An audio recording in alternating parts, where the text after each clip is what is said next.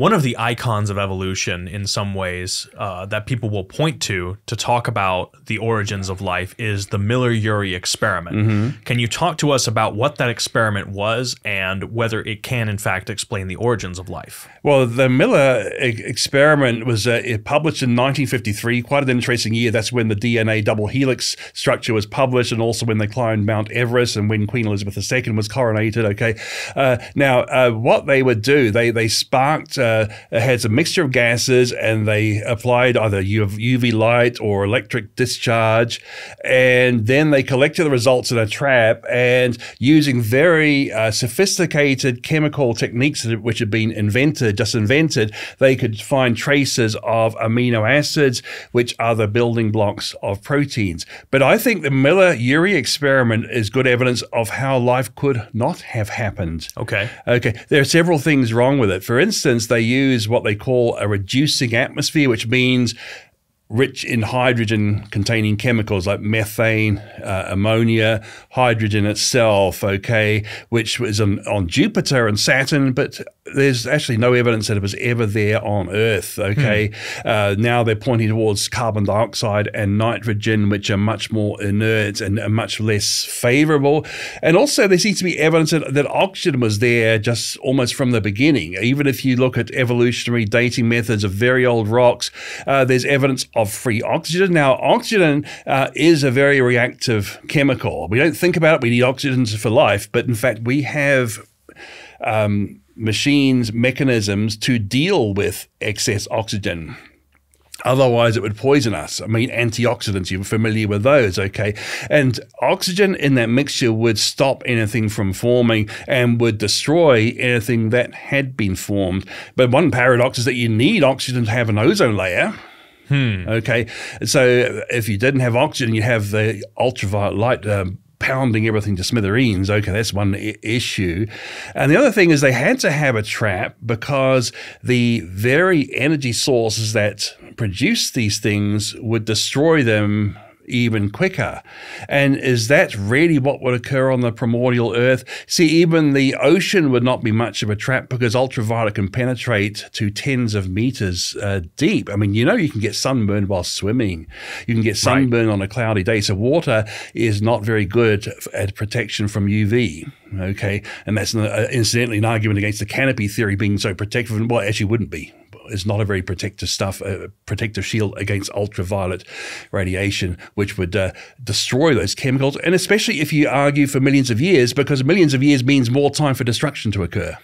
Right. So what I'm hearing you say is that some of these conditions that were part of this experiment to create the building blocks of life, those very conditions, if they were not carefully managed by, you know, somebody in a lab, for example, Mm. those very conditions would actually destroy everything that were they were trying to create. That's that's a, a real problem for them. And another thing is, no one will take the results of the Miller experiment and try to do the next step because even they, they found traces of amino acids, uh, they were a, a grossly contaminated gunk, uh, extremely dilute, uh, uh, and the contamination would stop reactions going on any further. Uh, okay, as I say, they they needed sophisticated chemistry to even separate the amino acids so they could detect them. Okay, but you haven't got that on a primordial Earth. You've just got the amino acids in in a whole sorts of gunk, which would stop life, uh, stop the process even leading to life. Right. So basically, there's so many other byproducts that could potentially react with one another in ways that aren't going to form the amino acids that are necessary and everything else. Right. I mean, you want amino acids to react with each other to form proteins, but they're going to react with all the other things in there, and that's going to stop proteins being formed. It's going to take them out and therefore make them unavailable for protein formation. Okay, so we've got to ask could this experiment produce life?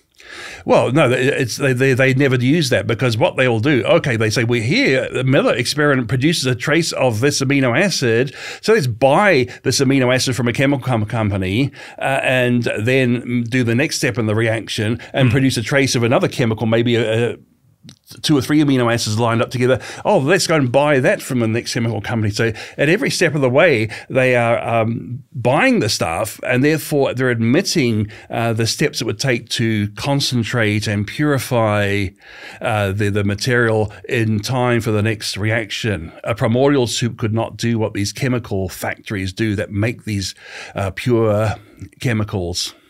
Right. Yeah. So they're taking they're taking correct me if I'm if I'm getting this wrong, but they're taking a look at what's in this primordial soup. They're looking and saying, "Oh, there's little trace elements of each of these chemicals that are necessary for life. Mm-hmm. Well, let's just go out and buy, you know, a truckload of that stuff and right. mix it together without accounting for the fact that that's that's not how this would have happened in real life. Yeah, you'd need to actually take the results of the Miller experiment and see, well, let's do something with that, and then you might have a case. Well, Dr. Sarfati, this has been great, giving us a huge amount to think about and dig deeper on. Where can Christians go to learn more about this topic? Well, for this topic and other scientific refutations of evolution, I can't recommend anything more highly than the video called Evolution's Achilles Heels. It's a bit over 90 minutes long, but it's in nine uh, separate sections and it comes with a free study guide. Um, and to, to discover, it talks about lots of different aspects, including origin of first life, which I do a bit of talking in that one. Um, and but also even ends with the ethical and moral implications of your worldview, goes into the evolutionary foundations of the Holocaust, for instance. It's interesting, uh, he, a long age Christian apologist, Frank Turek, actually um, played a clip from Evolution's Achilles hmm. Heels when he debated an atheist about uh, the um, need for a God to have foundation for morality, but he describes me as a Jewish man talking about the Holocaust. Hmm or I am Jewish actually. I'm also a Christian, a Jew who believes in Jesus. But interesting how he used this very much short age, young Earth creation video uh, in his talk, okay, in his debate with an atheist, and cites me in that one. Okay, um, but but it also has they say geology, genetics, natural selection, uh, radiometric dating, and even cosmological evolution is the Big Bang right. So it has a huge amount of uh, material, and it comes with a free study guide. And for sticking with us, we are going to make that 90 minute award winning documentary available for a free seven day stream in the description below. Dr. Sarfati, thank you so much. Well, thank you, Sheridan.